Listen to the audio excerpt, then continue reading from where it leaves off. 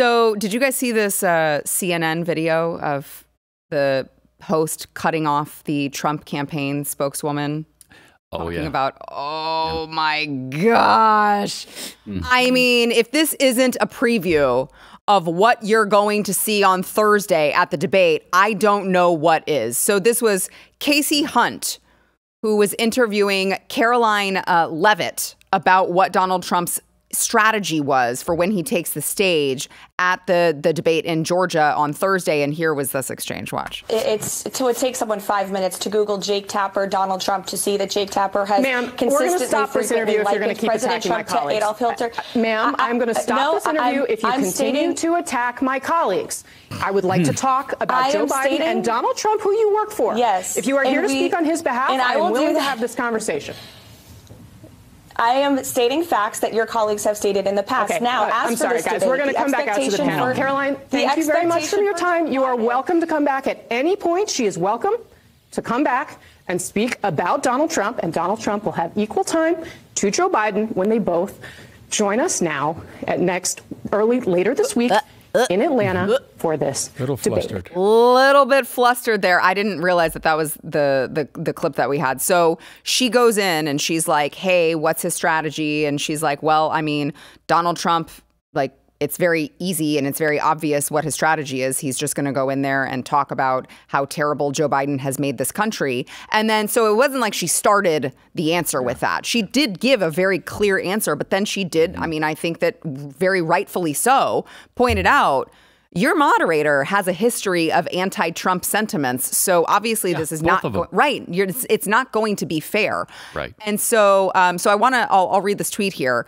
Uh, the CNN host later on tweeted out, You come on my show, you respect my colleagues, period. I don't care what side of the aisle you stand on, as my track record clearly shows. Did you guys see any disrespect?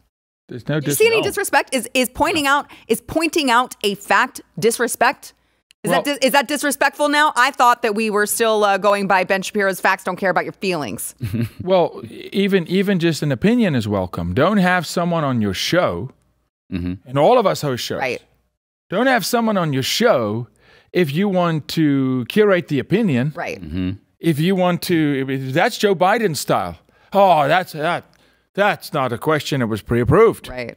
You can't. You can't Not have playing that by the rules. You can't talk about your opinion about Tapper.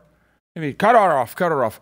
I said it the other day, and I and I think Matthew's like Yaku. They won't do that. I'm telling you right now. Oh, please. They will mute Trump in Oh, the yes. middle of a sentence. They will. Yeah, they will. I'm t- I do not put that over them, not for a second. Which is why, Pat, I'd love to hear your opinion. And sorry, Sara, your show, but Trump's tactics here should be discussed. I mean, does he does he turn to Biden and speak to him directly and ask the questions that should be asked that they're not going to ask? I don't think he'll be allowed to. No. I don't think Uh, so. no, they've Should, set, but they're going to cut him. he set the ground rules so that that can't happen. And uh, all the just had some Obama uh, advisor talk about this that every rule they have for this debate was set up by Biden for Biden. And so Trump just said yes to it all because he wanted to debate him so badly. And I really think he felt like if he didn't say yes, that uh, Biden would find a way out of not wouldn't be a debate. There wouldn't be a debate. I agree. And and he has a lot of confidence that he's going to crush him regardless. Right. And I, th- I think he will too. But now the expectations are so high that if he goes in there all hopped up on whatever anti Alzheimer's drug they give him, Adrenaline. Uh-huh, That's what they're shooting him up. whatever with. it They're shooting up, up with adrenaline. yeah. And if he performs like he did with the State of the Union, which wasn't, I don't think it was great, but it was better than most of us expected. If he does that again, that's going to help him a lot. If he does that, Trump does not speak freely. He gets interrupted. It's a mm-hmm. combination, right? It's like, hey, we can mute your mic, and the host interrupts him. It's just it's it's disrupting the flow to block and tackle Yeah.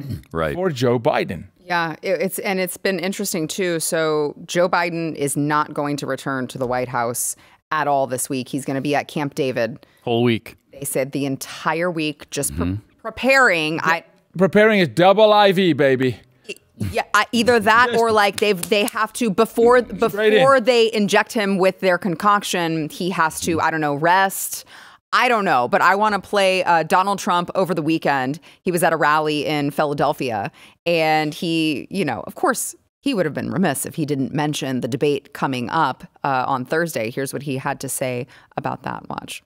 As you know, it's been reported that right now Crooked Joe's gone to a log cabin to study, prepare. No, he didn't do. He's sleeping now.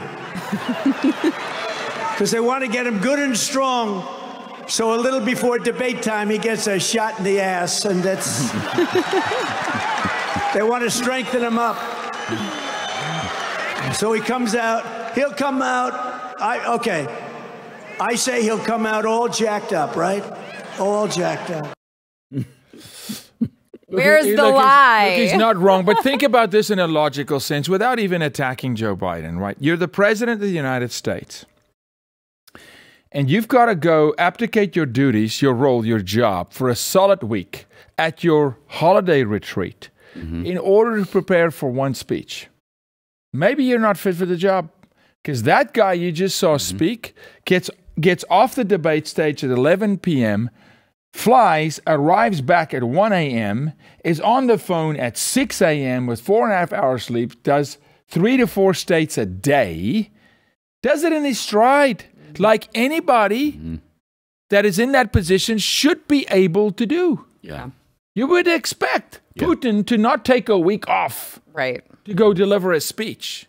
Now, he may be sleeping, but he's going to be hooked up. Oh, he's going to be hooked up on all kinds of juju juice. I mean, I don't remember who said this on the show, but may, may, it might have been you. I don't know. But I really, really agree with them when they said, I just want to see a tell all book written by someone who was in this administration after the fact. So we mm-hmm. know just how bad it got because. Oh, You just gotta believe it's gonna gonna oh, come. I just hope it, has to. it I comes so. out to an has to. America that still has a culture and not an America Yeah. that reminisces of the days of old and when we once were a country. Well, and now they're all spewing the party line because they're still part of the administration, and he's sharp as a tack. Oh, okay. No, Green one day we'll hear us the that. truth, and the, Green tru- promised us. the the truth is uglier than even we know. Oh, I think so you know too. it is. I think so You know it is. tip of the iceberg is what we mm-hmm. see. If you like this clip and you want to see the full episode, click here. And if you want to subscribe to the channel, come on, you know you do. Click here.